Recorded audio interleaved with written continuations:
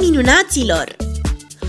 Uf, în dimineața aceasta m-a trezit un vânticel rece Care mi-a cam înghețat nasul Și mi-a reamintit că suntem la mijlocul lunii octombrie Și că da, e toamnă Chiar dacă până de curând părea că am rămas prinși într-o vară fără de sfârșit Asta m-a făcut să realizez cât de repede a trecut și acest an Din care au mai rămas doar două luni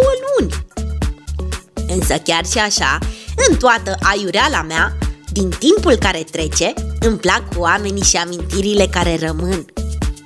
Partea bună este că datorită tehnologiei, acum putem păstra foarte ușor toate aceste clipe speciale, în format electronic, foto sau video, pe care să le colecționăm în arhiva personală, iar mai apoi să le revedem ori de câte ori dorim, peste ani și ani. Apropo, vouă ce vă place mai mult? Să faceți fotografii sau să vă lăsați fotografiați?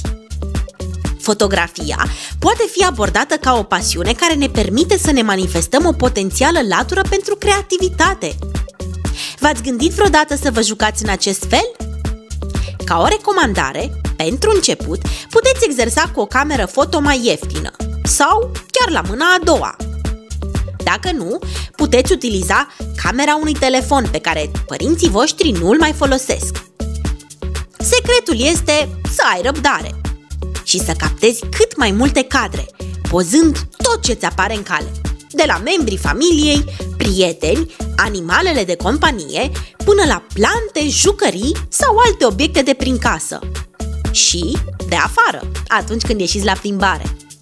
Totul ține de exercițiu, imaginație, puțină viziune, lumină și unghiuri inedite pe care să le poți surprinde în fotografii nemaipomenite.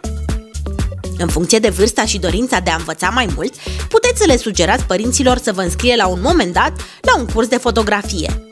De asemenea, puteți găsi numeroase tutoriale cu sfaturi utile pentru începători, chiar pe YouTube, în articole online sau în cărți de specialitate pe care le puteți cerceta alături de un adult, pentru a putea înțelege mai bine și a învăța împreună lucruri noi.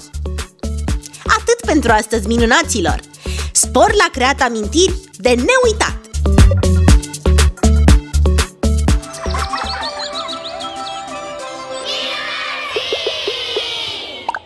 Minunații!